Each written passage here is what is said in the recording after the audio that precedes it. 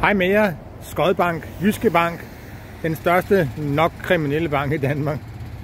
Jyske Bank, I laver også øh, hvidvaskning, fordi øh, da I stjal nogle penge fra mig, hvor I tog noget gebyr for øh, i, forbindelse med, at I sagde, at jeg havde lånt nogle penge, jeg aldrig har lånt, der puttede I de her penge ind i jeres indtægtskasse, og, og dermed sagde, at det var lovlig indtægt.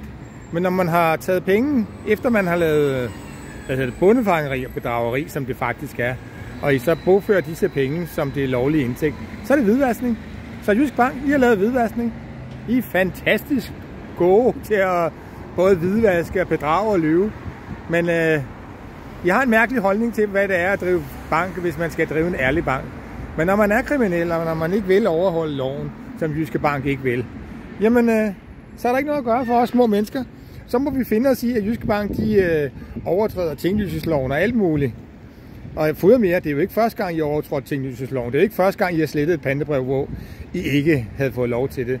Tidligere har jeg faktisk måttet betale øh, gebyr for at oprette et helt nyt pandebrev. Her hos mig har jeg blot parkeret det, eller afgivet parkeret det. Men stadigvæk imod, hvad jeg har sagt. Og det er sgu ikke jer, der bestemmer, hvad, hvad I skal gøre ved folks pandebreve. I skal til at overholde loven. I skal høre efter, hvad jeres kunder siger.